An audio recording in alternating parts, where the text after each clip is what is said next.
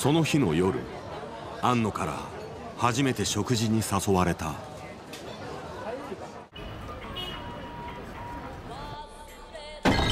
あの C 型のダビーシステムってやつ。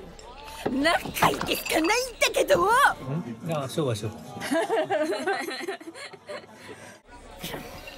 そんな危なっかしいもんにエヴァを預けるなんて気が知れないわ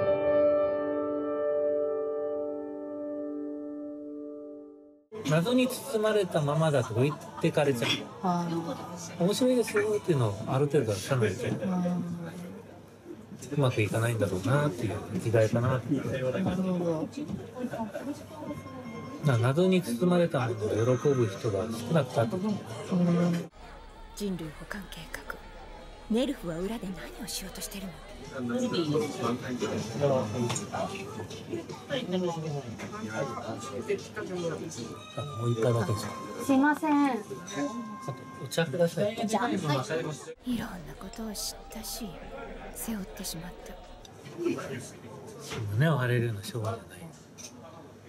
シンジ君たちはもっと大きなものを背負わされてるし申し訳ないと言える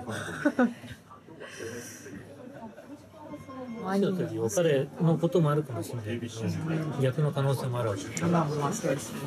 じゃあ何も言えない別れだったらよかったなっていう